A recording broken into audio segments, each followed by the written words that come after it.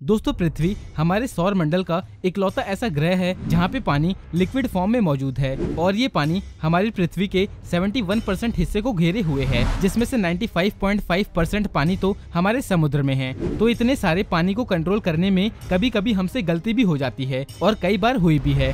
जिसने हमें बहुत बुरी तरह से इफ़ेक्ट भी किया है। तो दोस्तों, आज मैं आपसे ऐसे ही कुछ पानी की आपदाओं के बारे में बात करने वाला हूँ, जिससे हमारी जान और माल को काफ़ी नुकसान हुआ है। तो दोस्तों, इन पानी की भयानक आपदाओं के बारे में जानने के लिए वीडियो को एंड तक ज़रूर देखना। और वीडियो स्टार्ट करने से पहले आपसे रिक्वेस्ट है कि प्लीज़ हमारे चैनल अनोन फैक्ट्स हिंदी को सब्सक्राइब करके घंटे को दबा दो। So let's begin Oroville dam दोस्तों, उत्तरी कैलिफ़ोर्निया में मौजूद ये डैम अमेरिका का टॉलेस्ट डैम है, जिसकी ऊंचाई 770 फीट है, जो कि अपने पीछे 1.1 ट्रिलियन गैलन पानी को रोक सकता है और यहीं से इसकी रेंज में आने वाले हर एक कस्बे और शहरों तक पानी पहुँचाया जाता है। और दोस्तों 7 फरवरी 2017 को तेज बारिश ने इस डैम के मेन स्पिलवे को नुकसान पहुँचा दिया था, जिसके बाद हालात तेज़ी ऐसी खराब होने लगे थे।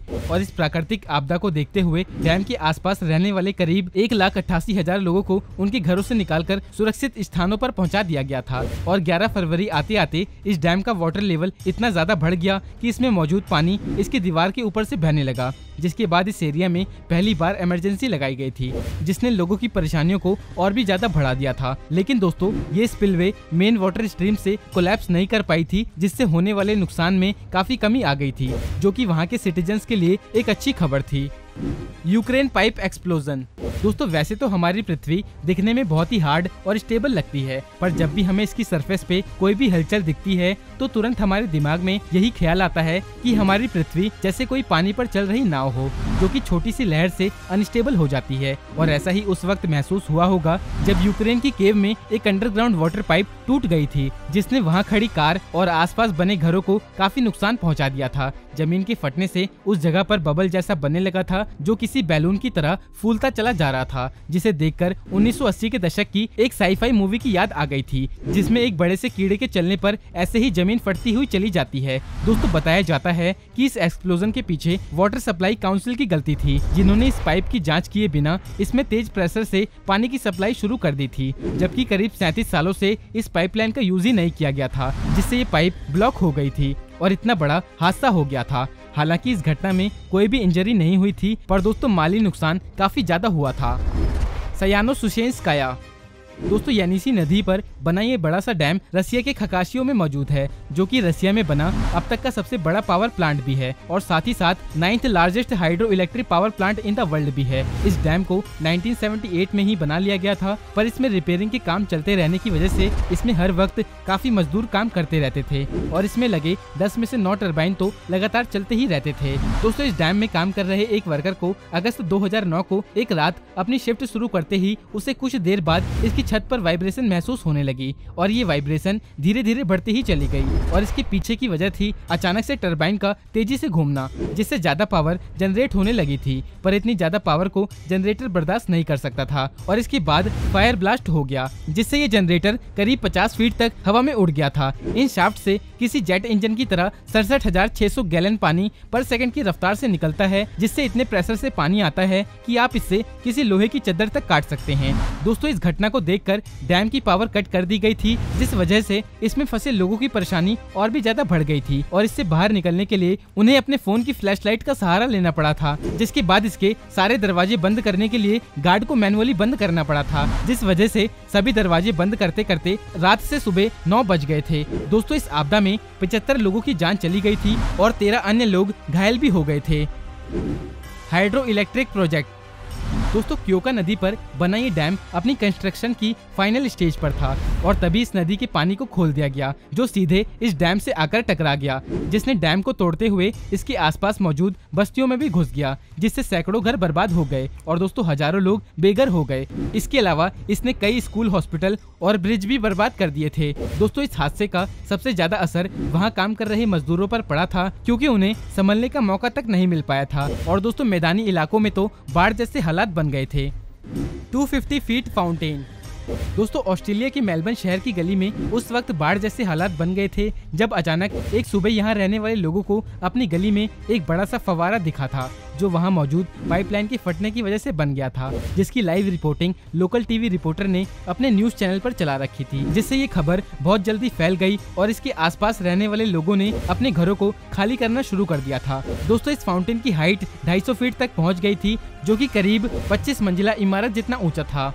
और दोस्तों, इसे बंद कराने के लिए इस पर रखी जाने वाली कोई भी चीज़ ऐसे उड़ जा रही थी जैसे किसी शैंपेन का ढक्कन। और दोस्तों, इस फवारे ने अपने आसपास मौजूद कई घरों को पूरी तरह से बर्बाद कर दिया था। और इस पाइप का प्रेशर इतना ज़्यादा था कि इससे हर एक मिनट में पैंतीस हज़ार लीटर पानी निकल रहा था। दोस्तों, मज़े की बात तो ये है कि इतने बड़े ब्लास्ट को रोकने के लिए वाटर कंपनी की तरफ़ से सिर्फ़ एक आदमी को भेजा गया था। Banqiao dam. दोस्तों 8 अगस्त 1975 की रात सैकड़ों लोगों ने इस डैम को बचाने के लिए अपनी नींद को भुला दिया था और बालू से भरी बोरियों को लेकर इस डैम को ऊँचा करने की कोशिश कर रहे थे। क्योंकि इस एरिया में उस रात तब तक का सबसे तेज तूफ़ान रिकॉर्ड किया गया था। पर दोस्तों, आधी रात बीत जाने के बाद डैम का पानी तेज़ी से बढ़ने लगा और उसके ऊपर से बहने लगा, जिसके कुछ देर बाद ही वहाँ मौजूद लोगों ने एक दिल दहला देने वाली तेज आवाज़ सुनी, जैसे कहीं बिजली गिरी हो या कहीं धरती फटी हो। लेकिन दोस्तों, ये तेज आवाज़ डैम की टूटने की थी, जिसके बाद इससे पानी की एक 20 मीटर ऊँची और 10 किलोमीटर चौड़ी दीवार बन गई, जो कि गाँव के गाँव खत्म करते हुए आगे बढ़ती चली जा रही थी। दोस्तों, इस पानी के छूटने से इसके आगे आने वाले डैम भी टूटने लगे थे और सिर्फ़ एक रात में ही करीब बासठ डैम बर्बाद हो गए थे, जिसमें पच्चीस हज़ार से ज़्यादा लोग डूब गए थे। बोल्डविन हिल्स डैम दोस्तों, दिसंबर 1963 की एक सुबह इस डैम की रखवाली करने वाले लोगों को एक अजीब सी आवाज़ सुनाई पड़ी, जिसने उनका ध्यान अपनी तरफ़ खींच लिया और ये आवाज़ इस इकहत्तर मीटर ऊँचे डैम में दरार पड़ने की थी, जिसे देखकर पहरेदारों के होश उड़ गए। इसकी सूचना मिलते ही पुलिस ने सारी ताकत लगा दी और इसके आसपास मौजूद गाँव और शहरों को पूरी तरह से खाली करवा दिया। ताकि ज़्यादा से ज़्यादा लोगों की जान बचाई जा सके।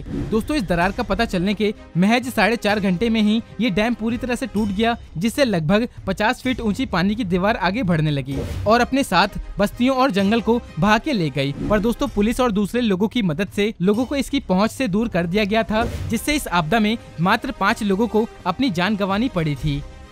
मिसिसिपी रिवर फ्लड दोस्तों मिसिसिपी रिवर में अप्रैल 2011 में आई बाढ़, अमेरिका में आई पिछली एक सदी में रिकॉर्ड की गई लार्जेस्ट और मोस्ट डेंजरस बाढ़ थी, जिसे 1927 और 1993 की फ्लड से कंपेयर किया जा रहा था। इस नदी का पानी अचानक इसलिए बढ़ गया था क्योंकि अप्रैल 2011 में यहाँ दो बड़े तूफ़ान आए थे, जिससे काफ़ी बारिश हो गई थी और स्प्रिंग सीज़न होने की वजह से बर्फ़ भी पिघलने लगी थी। और दोस्तों, इस तरह इन दोनों के आपस में मिल जाने से नदी का वाटर लेवल बहुत तेज़ी से बढ़ने लगा था और चौदह अप्रैल दो 2011 को पहला तूफ़ान आया, जो अपने साथ अमेरिका की हिस्ट्री का सबसे बड़ा टोर्नेडो लेकर आया था, जिससे साउथ और मिड अमेरिका में भारी बारिश हो गई थी। और दोस्तों, इसके बाद दोबारा से 25 अप्रैल को फिर से एक बड़ा सा टोर्नेडो आ गया था, जिसने इस बाढ़ को और भी विकराल रूप दे दिया था। केदारनाथ फ्लड दोस्तों, जून 2013 में आई तबाही ने उत्तरी भारत को हिला के रख दिया था, जिसमें सरवाइव करने वाले लोग आज भी उस मंजर को याद करके रोने लगते हैं। क्योंकि दोस्तों, उन्होंने अपनों को अपनी आँखों के सामने इस बाढ़ में बहते देखा था, पर फिर भी कुछ कर नहीं सकते थे। केदारनाथ में आई इस बाढ़ ने चार हज़ार ऐसी ज़्यादा गाँव को तबाह करके रख दिया था। दोस्तों, वैसे इस बाढ़ के आने के पीछे कोई डैम जिम्मेदार नहीं था। इसके पीछे की वजह अचानक से हुई तेज बारिश थी, जो कि करीब एक हफ़्ते तक ऐसे ही होती रही थी। दोस्तों, इस जगह पर मौजूद केदारनाथ मंदिर के दर्शन करने वाले लाखों लोग हर साल यहाँ आते रहते हैं, जिस वजह से इसमें मरने वालों की संख्या काफ़ी ज़्यादा हो गई थी। दोस्तों, वैसे ऑफिशियली सत्तावन लोगों के मरने की पुष्टि की गई है, पर दोस्तों, असल संख्या इससे कई गुना ज़्यादा है। वेजेंट डैम दोस्तों, वेनिस शहर में बना ये डैम 1959 में वेजेंट नदी पर बनाया गया था, जिसके बनने के कुछ साल में ही 1963 में एक बड़े से लैंडस्लाइड ने इस डैम के पानी में मेगा सुनामी क्रिएट कर दी थी, जिससे लगभग 50 मिलियन क्यूबिक लीटर पानी डैम के ऊपर से निकलकर आसपास के कस्बे और गाँव में फैल गया था।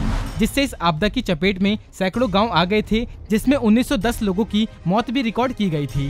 दोस्तों, इस जगह के कमज़ोर होने के बारे में डैम अथॉरिटी को पहले से ही पता था। फिर भी ये इस बात को इग्नोर करते रहे और इस लापरवाही का भुगतान आम लोगों को अपनी जान खोकर चुकाना पड़ा था। और दोस्तों, भविष्य में ऐसी आपदाओं को कम करने के लिए हमें प्रकृति से पंगा लेने की बजाय उनके नियमों के हिसाब से चलने की कोशिश करनी होगी और तभी कुछ हो सकता है। तो दोस्तों, इन प्राकृतिक आपदाओं के बारे में आपकी क्या सोच है, हमें कमेंट करके ज़रूर बताना और ऐसी ही इंटरेस्टिंग वीडियोस को देखने के लिए हमारे चैनल अनोन फैक्ट्स हिंदी को सब्सक्राइब कर दो और घंटे को भी दबा दो। तो मिलते हैं नेक्स्ट वीडियो में एक और धांसू वीडियो के साथ। अपना कीमती समय देने के लिए बहुत बहुत धन्यवाद।